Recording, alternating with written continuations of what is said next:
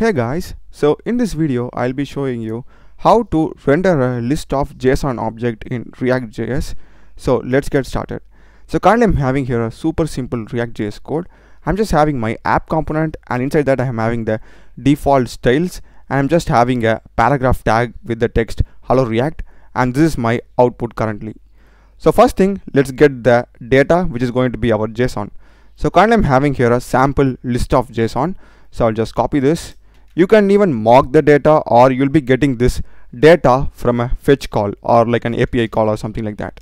So I'll just paste my data. This can be a normal variable and also a use state variable which depends upon your use case. So now let's just go inside our component which is app. We'll be having the return statement and we'll be having the div all those tags all right. So what we are going to do is let me just remove the existing code inside this and first thing let's just have a heading like a heading tag over here. And let's just name like this.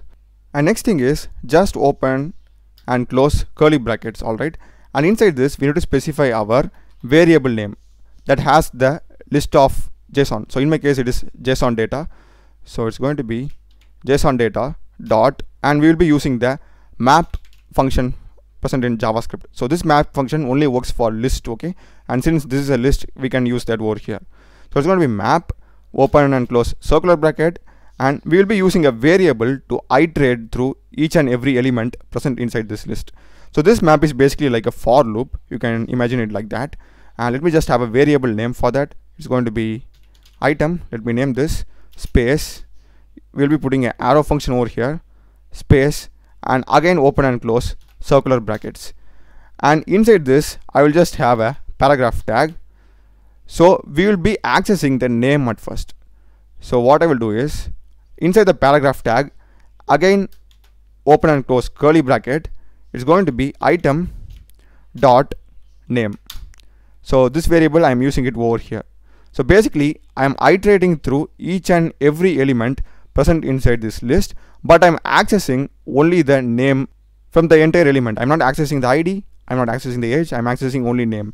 So it's going to be John, Jane and Bob in the output. So I'll just save it now. And if I go to the output, so here you can see I'll be having an output like this. And now in case if you want the age, what you can do is I'll just copy the same, put it over here and I'll just change this item dot age from name to age and it says it must have a single parent. So what you can do is you can just go to the top, put a div tag and you can just close the div tag after the last paragraph tag. So this is now a single parent tag. So I will save it now and if I go to the output, here you can see I'll be getting the age also. And in case if you want a placeholder text or a label kind of text, you can just have here name and you can just have here age. That's it. So this basically concatenates our data with this particular variable over here with the space. So if I just go to the output, here you can see I'll be getting the space and this is our data from that list. So this is basically how you iterate a list of JSON and display in the UI in React.js. And I hope you would have found this video useful.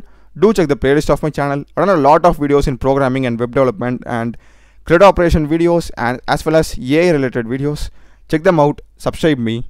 Thanks for watching.